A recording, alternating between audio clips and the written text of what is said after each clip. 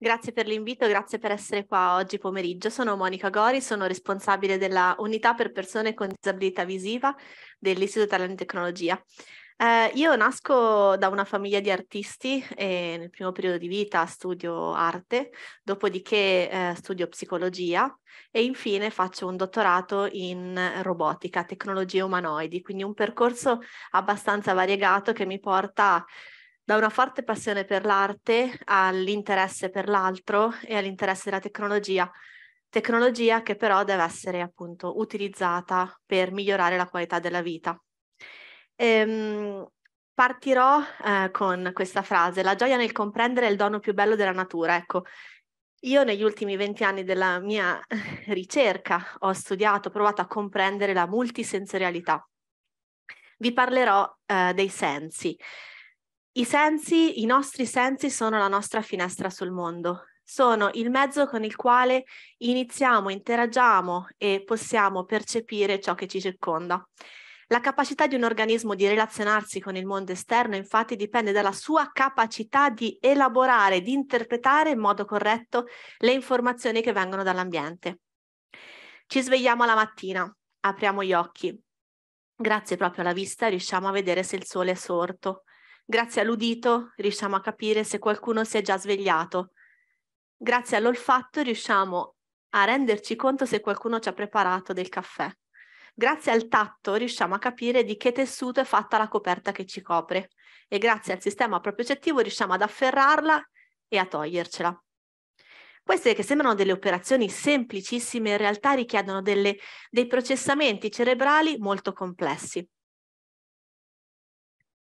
Ecco, noi studiamo proprio come questi sistemi funzionano. Sapevate per esempio che il nostro occhio riesce a percepire fino a 10 milioni di colori e riesce a vedere fino a 50 cose al secondo.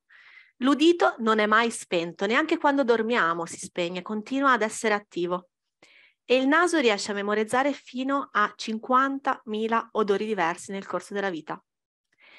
Questa percezione ci permette di avere una vita ricca e sfaccettata piena di cambiamenti che per noi sono così importanti. Tuttavia, la nostra capacità non è così sin da quando nasciamo, ma sviluppa con tantissima fatica. Alcune capacità sono già presenti prima della nascita. Pensate che a sette settimane il bambino nella pancia inizia già ad avere un'informazione tattile. Quindi il tatto sviluppa prima di nascere.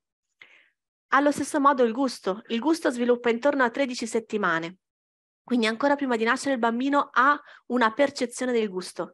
L'udito sviluppa uno o due mesi prima di nascere. Il bambino prima di nascere riesce già a sentire i suoni che sono fuori dalla pancia, come per esempio la voce della mamma, la voce del papà, se ci sono delle persone intorno oppure no. Infatti, quando il bambino nasce, è già in grado di riconoscere il sapore del latte o l'odore della mamma.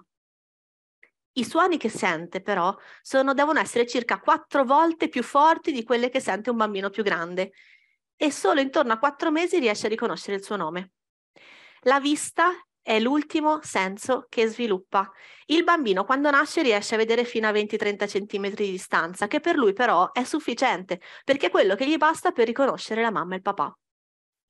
Prima di iniziare a riconoscere i colori devono passare quattro mesi e prima di riuscire a muovere l'occhio in modo coordinato ne devono passare cinque o otto. Un passaggio importantissimo per il bambino, che è fondamentale per tutta la nostra vita, è quella di iniziare a capire che questo è il suo corpo. Quindi intorno a 4-5 mesi lui inizia a muovere la mano e a vederla muovere e inizia a chiedersi, forse questa è mia, questo momento nel quale riconosce che questo pezzo di corpo è suo, grazie all'associazione tra il movimento e quello che vede, è il momento in cui lui inizia ad usarlo e inizia ad usarlo per prendere gli oggetti e quindi passa da dentro di sé a fuori di sé la curiosità, l'interesse per il mondo. Non tutte le capacità però sviluppano così presto, per esempio la capacità di vedere movimenti complessi piuttosto che di percepire cambiamenti fini o di riuscire a sentire variazioni nel, del suono. quando c'è del rumore o variazioni molto fini come per esempio variazioni mu- musicali richiedono tanto tempo e fino addirittura all'adolescenza in alcuni casi non, non, sono, non sono pronti. Quindi il nostro cervello è molto bravo a riuscire a percepire le informazioni visive, uditive, tattili. Ma una cosa che riesce a fare ancora meglio, che lo rende ancora più speciale, è quello di riuscire ad integrarli. Quando si parla di integrazione multisensoriale si parla della capacità del cervello di riuscire a migliorare la precisione della percezione dell'ambiente quando più sensi sono disponibili riesce ad essere più preciso, riesce ad essere più accurato, riesce ad essere più veloce. Ho portato una palla per farvi un esempio. Adesso farò un palleggio.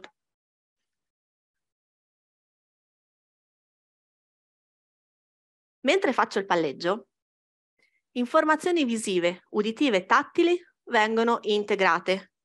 Quindi io vedo quando la palla arriva, sento il suono della palla, e i miei recettori tattili mi dicono che la palla ha toccato la mia mano. Queste tre semplici informazioni, oh scusate, questa doveva venire dopo, queste tre semplici informazioni permettono di migliorare la mia percezione. Quando io ho tre informazioni disponibili, riesco a rispondere con un'accuratezza di circa 100 millisecondi quando ne ho solo una con una precisione di circa 150 millisecondi. Voi direte, vabbè, sono solo 50 millisecondi, ma 50 millisecondi vi permettono di evitare questo quando si gioca a pallavolo, vi permettono di evitare di prendere la palla in faccia.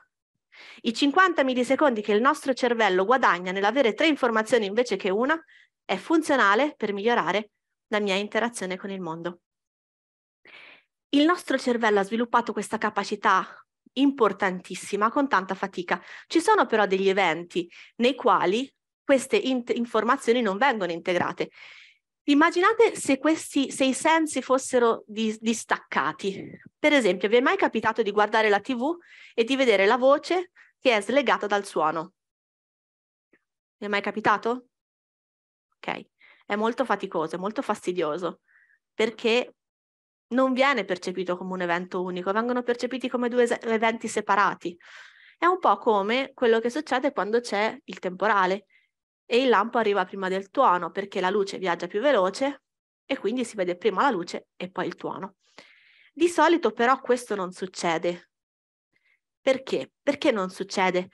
I nostri segnali sensoriali non arrivano allo stesso momento. Pensate solo che l'informazione visiva arriva attraverso l'occhio al cervello, l'informazione acustica arriva attraverso l'orecchio, l'informazione tattile attraverso il tatto. Al nostro cervello non arrivano nello stesso identico istante, però noi li percepiamo come integrati.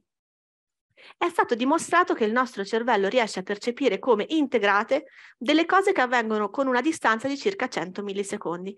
Quindi tutto quello che avviene all'interno di questi 100 millisecondi viene percepito come evento unico.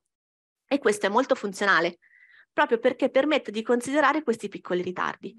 Se il ritardo è maggiore, c'è questa confusione, come vi succede quando guardiamo la TV o quando c'è il lampo disgiunto dal tuono. La stessa cosa può succedere anche nello spazio. Nel tempo, abbiamo fatto l'esempio della TV e del tuono, nello spazio possiamo fare l'effetto del, l'esempio dell'effetto ventriloquo.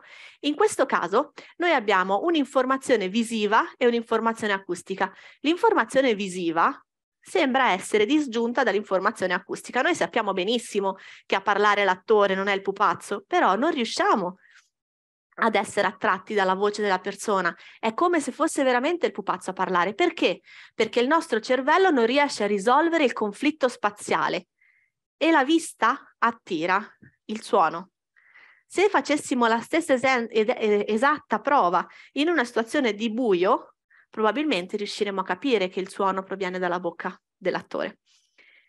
Quindi il nostro cervello ha imparato a risolvere tutte queste problematiche cercando di eh, ottimizzare quella che è la disparità degli eventi che ci sono nel mondo, minimizzando quelli che sono, diciamo, gli effetti dannosi. Quindi i sistemi sensoriali riescono a connettersi a livello cerebrale, rendendo più efficace la nostra esperienza sensoriale del mondo e noi scienziati cerchiamo di sviluppare dei modelli matematici che riescano a descrivere come il nostro cervello funziona e come questo, diciamo, funziona in varie eh, caratteristiche. Quindi la percezione sensoriale e multisensoriale sono alla base della nostra interazione con la realtà, ma anche queste non sviluppano presto. Pensiamo um, alla capacità che ha un bambino piccolissimo di percepire il mondo multisensoriale. Il bambino appena nato riesce per esempio a capire se la bocca della mamma è associata con la voce della mamma, però ci sono tante altre capacità che sviluppano tardi, che non sono ancora sviluppate fino agli 8-10 anni di età. Quindi capire come i sensi si comportano nel bambino è fondamentale se si vuole creare dei sistemi, per esempio di riabilitazione o di apprendimento, che vadano a sfruttare la multisensorialità. Ecco, un esempio classico che vi permette di capire che il bambino non ha l'integrazione multisensoriale sviluppata sin da prestissimo basta, è molto semplice da vedere, basta guardare un bambino che gioca con la palla. Un bambino che prova a giocare a pallavolo non ci riesce fino a circa 11-12 anni di età. Perché? Proprio perché probabilmente fino a quell'età ci sono dei ritardi sensoriali talmente grandi che non permettono di integrare le informazioni. Infatti pensate che i ritardi sensoriali del bambino de- di 7 anni sono il doppio di quelli del bambino di 11 anni. È probabilmente per questo che le squadre di pallavolo non si organizzano fino a quell'età.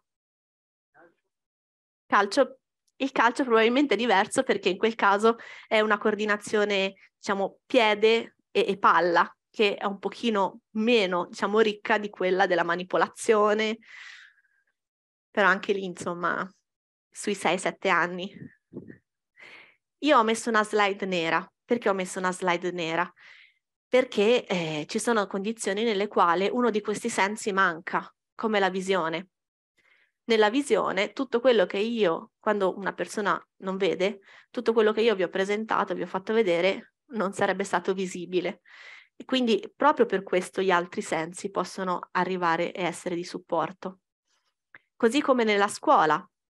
Nella scuola i metodi di, di apprendimento, di insegnamento sono principalmente visivi, ma invece quanto può essere importante sfruttare anche l'acustico e sfruttare anche il tattile, il motorio per riuscire ad apprendere in modo migliore. E questo è particolarmente importante quando um, riusciamo a capire quali sono i meccanismi cerebrali che stanno alla base dello sviluppo di nuovi dispositivi. E è proprio quello che facciamo in ITI, nel mio gruppo di lavoro. Quindi studiamo il cervello per sviluppare nuovi dispositivi, dispositivi che poi vengono validati attraverso di nuovo mh, mhmm, sistemi che permettano di vedere il miglioramento. Ecco, quindi questo è più o meno quello che diciamo facciamo, studiamo la percezione multisensoriale, proviamo a fare dei modelli di quelle che sono le disabilità e andiamo ad intervenire con la tecnologia, dove la tecnologia non è solo un obiettivo, ma è anche un modo per ritornare sulla scienza e quindi creare un'interazione tra scienza e tecnologia che possa portare un impatto, un miglioramento nella qualità della vita delle persone. Questo è il mio gruppo di lavoro e questo è dove lavoriamo all'Istituto di Tecnologia uh, Center for Human Technology di Genova. Quindi in pratica cosa facciamo? Facciamo dei test molto semplici a bambini, per esempio, come questi, Uh, test multisensoriali dove chiediamo al bambino di vedere, di toccare delle cose e estraiamo delle curve, come in questo caso, che permettono di dirci quanto il bambino ci vede o ci sente bene. E da, questo, da questi studi di base sviluppiamo delle tecnologie. Adesso vi faccio degli esempi, faccio vedere degli esempi di come possiamo sviluppare tecnologie su tre campi che sono la riabilitazione, l'apprendimento e il gioco. Quindi questa seconda parte, diciamo, è più applicativa e pratica. Io vi chiederei intanto se ci sono domande su questa prima parte, che era un pochino più teorica sulla multisensorialità. Eh, in alternativa passo alla seconda parte più tecnologica. Fatta?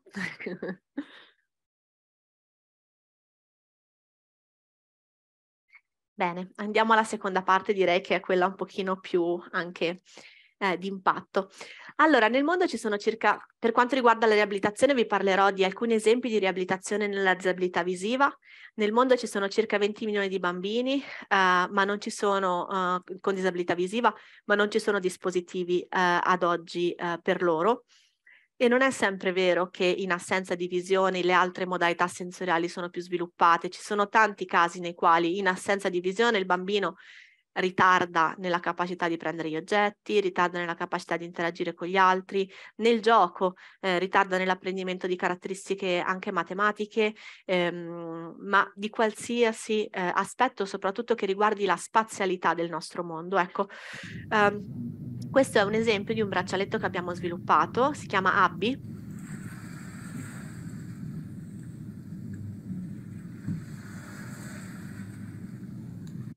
L'idea del braccialetto è molto semplice. Vi ho detto che intorno a 4-5 mesi di età il bambino inizia a, eh, scusate, inizia a prendere, a vedere che questa è la sua mano.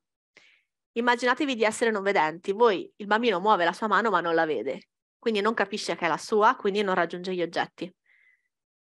L'idea di Abby è mettere un suono nella mano così che quando lui muove il suo braccio riesce ad ascoltarlo e quindi capisce che è suo e inizia ad usarlo. Ecco, lo abbiamo usato per esempio in alcuni giochi um, con bambini con disabilità visiva. Questo è un raggiungimi, quindi il bambino deve raggiungere la riabilitatrice che ha il braccialetto. Questo è un bambino non vedente che corre e vi posso garantire che è abbastanza inusuale vedere un bambino non vedente correre.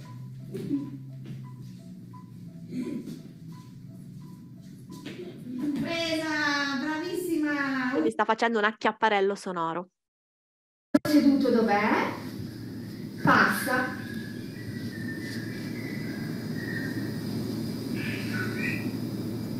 Questi sono bambini non vedenti che si passano un oggetto grazie all'ascolto del suono.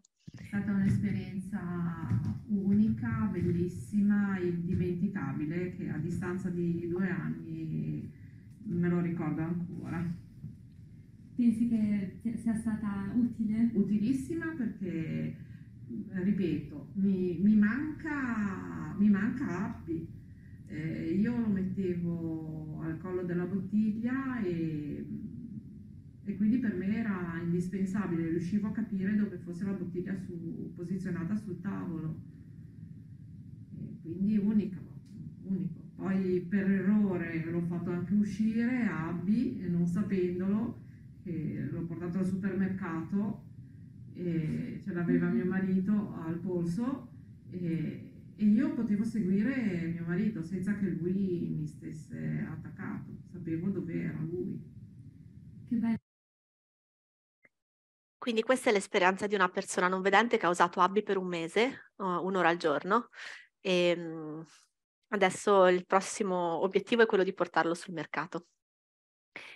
Possiamo lavorare anche sull'apprendimento. Quando si parla di apprendimento, si parla di apprendimento di bambini vedenti, ma anche bambini non vedenti, bambini con varie disabilità, perché la multisensorialità secondo me è la chiave per abbattere le barriere. Quando ci sono più, dis- più modalità sensoriali disponibili, è possibile avere più abilità insieme, quindi il bambino sordo può giocare, st- fare la stessa attività di apprendimento attraverso la vista, il bambino cieco lo può fare attraverso l'udito, il bambino con disabilità motoria lo può fare attraverso le altre modalità, ma anche bambini con dislessia che magari hanno problemi nel ritmo riescono a farlo se noi giochiamo con un'attività più spaziale, quindi in generale si possono creare dei ponti tra diverse abilità grazie proprio alla multisensorialità.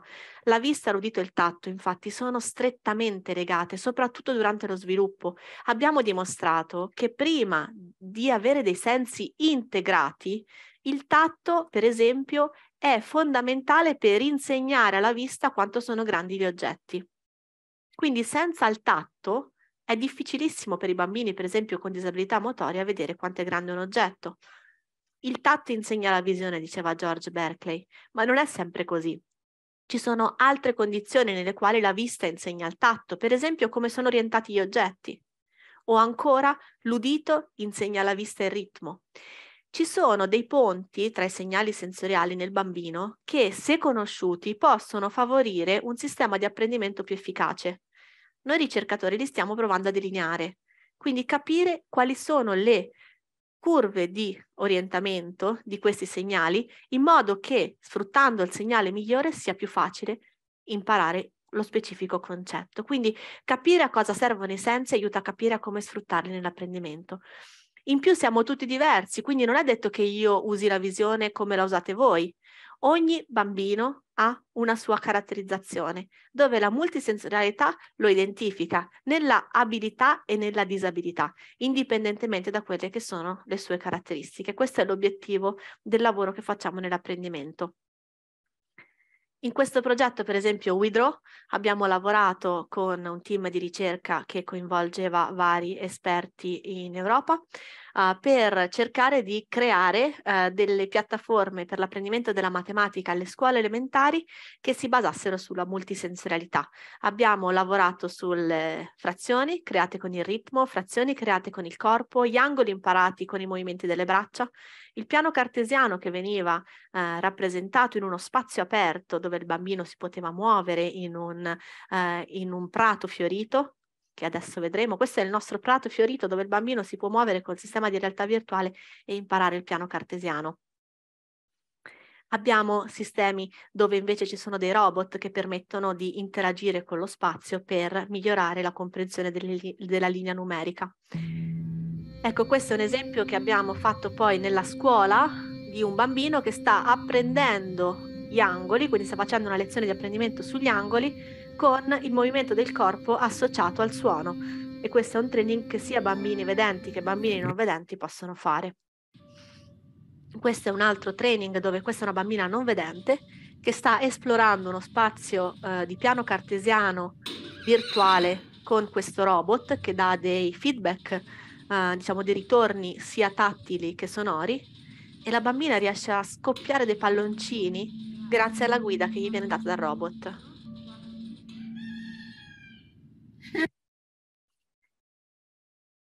Poi possiamo anche applicare queste conoscenze per il gioco, quindi come andare a migliorare l'interazione sociale di bambini che non vedono, di bambini anche che vedono e di farli giocare insieme.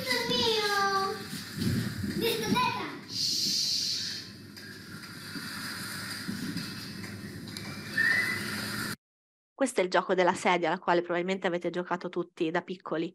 Non so se lo conoscete tutti, ma immagino di sì. Vedo delle teste che fanno sì, io ci ho giocato un sacco. Abbiamo riadattato circa 20 giochi per bambini vedenti a bambini non vedenti, cercando di sfruttare l'acustico. Quindi in questo gioco il gioco era uguale a quello che facevamo noi da piccoli con, diciamo, le sedie, solo che rimuoveva, rimuovevamo un suono, non una sedia. Quindi alla fine il bambino aveva un suono in meno e alla fine aveva due suoni invece che tre, dovevano correre per riuscire a trovare i suoni che erano ancora presenti. Vado? Sì. Uno, due, tre, scheda. Eh, batteria. E l'elefante. Ok, voi? Uno, due, tre, scheda. Cavallo. Non è il tempo!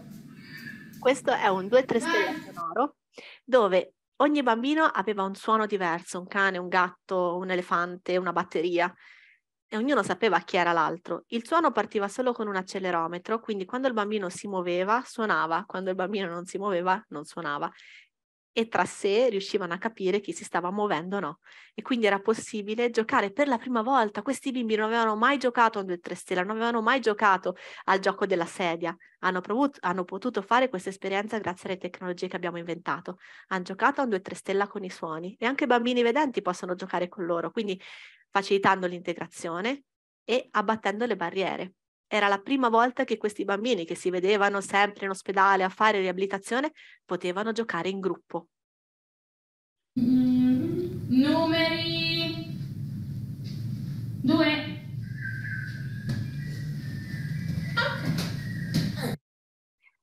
questo è il gioco della, del fazzoletto, e anche avere eh, diciamo una, una, eh, reale competizione tra sé perché potevano proprio competere nel gioco.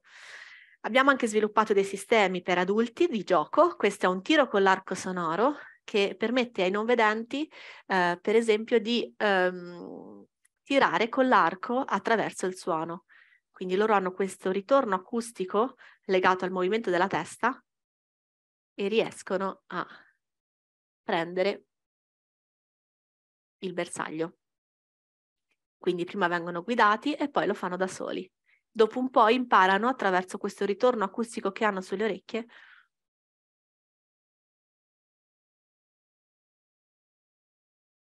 da tanti anni in collaborazione con l'Istituto di Tecnologia, l'IT di Genova, e ho scoperto tante belle cose, anche tante capacità e lati di me che magari sapevo poco di avere o non conoscevo, o magari non avevo mai imparato ad utilizzare. Ecco, loro sono stati comunque il mio aiuto, la, la, la riscoperta di, di, poter fare delle cose, aiuto tramite la tecnologia. Ecco, qua Luana dice, loro sono il mio aiuto, però in realtà questo lavoro si fa a due, cioè loro ci aiutano a capire in che cosa hanno bisogno di essere aiutati e noi poi lavoriamo insieme per cercare di risolvere dei problemi. Lo facciamo con gli insegnanti, lo facciamo con gli ospedali, questa è la rete degli ospedali con i quali lavoriamo in, in Italia, quindi è una rete abbastanza grande, lavoriamo a livello internazionale con tanti centri in, uh, in, varie parti del mondo che hanno già usato le nostre tecnologie e continuano uh, ad usarle. E adesso vi chiedo uh, cioè, come potete usarle voi queste tecnologie che noi abbiamo sviluppato. Quindi cosa posso io portare indietro a voi che avete ascoltato la mia presentazione? Allora, sicuramente questo è un, del materiale, un po' come nella presentazione precedente, si è parlato dell'importanza del portare sui libri di testo queste conoscenze scientifiche Um, ecco, la multisensorialità è un argomento che non viene ancora trattato nelle scuole. Secondo me la multisensorialità è uno degli obiettivi da raggiungere per abbattere le barriere. In classe si può parlare uh, di uh, multisensorialità, si può parlare attraverso alcuni esempi che noi abbiamo preparato uh, su questo sito, dove gli insegnanti possono fare questa attività con i ragazzi in classe per spiegare l'importanza. Vi faccio un esempio adesso.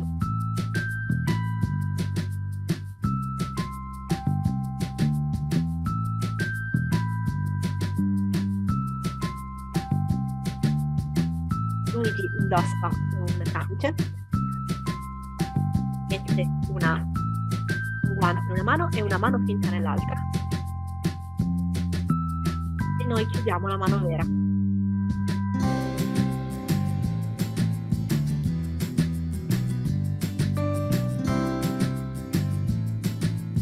Giulia inizia a spennellare le due mani. Questo atto tattile fa sì che Luigi inizi a pensare che la mano finta è la sua e se ne convince, e la vede e la sente. Questa è una semplice dimostrazione di integrazione multisensoriale. Non c'è bisogno di spiegazioni. Quando Giulia batte col martello la mano finta, Luigi subito si toglie. Questi, insieme ad altri dieci video che abbiamo sviluppato, possono essere un modo semplice per iniziare a parlare di multisensorialità. Bambini vedenti, bambini non vedenti possono farlo, bambini con disabilità acustica. Abbiamo anche sviluppato dei sistemi che sono già distribuiti in classe, quindi questo è un sistema per apprendere gli angoli eh, che è distribuito dalla Di Agostini Scuola, è online ed è gratis. Il, nostro, il risultato della nostra attività, quella che vi raccontavo con gli angoli imparati attraverso il movimento del corpo, può essere fatto in classe da tutti, uh, scaricando uh, attraverso questa, questo, questo, link il, praticamente il gioco. E quindi il bambino dovrà disegnare delle forme, prima più semplici, poi più complesse, attraverso il movimento delle braccia. Grazie alla rotazione delle braccia riusciamo, il bambino riesce ad internalizzare il fatto che la rotazione dell'angolo non è altro che una cosa, eh, diciamo, eh, molto semplice o comunque che può essere rappresentata anche con il movimento del corpo, quindi fa embodiment di quella che è un concetto complesso di rotazione e abbiamo dimostrato che è efficace a livello di apprendimento. Infine, se volete venire a Genova, eh, abbiamo sviluppato eh, un eh, 25 UDA nella, nell'area archeologica dei Giardini Luzzati. Eh, queste sono 25 eh, attività diverse per imparare la matematica, la storia, le scienze, l'inglese e la geografia le classi possono andare e fare tutta una serie di attività che abbiamo sviluppato in collaborazione con altri gruppi uh, per imparare questi aspetti in un modo multisensoriale in un'area archeologica facendo un escape room. Um, a presto sarà aperto per le scuole così che uh, appunto bambini del territorio o anche da fuori potranno andare per apprendere in un modo nuovo. Quindi concludo dicendo, la tecnologia è un modo per eh, includere tutti, se, eh, soprattutto se è eh, multisensoriale, perché la multisensorialità può essere, oltre ad essere fondamentale, come abbiamo visto nella prima parte della mia presentazione, è un modo per poter far parlare un linguaggio comune a persone con abilità diverse. Vi ringrazio.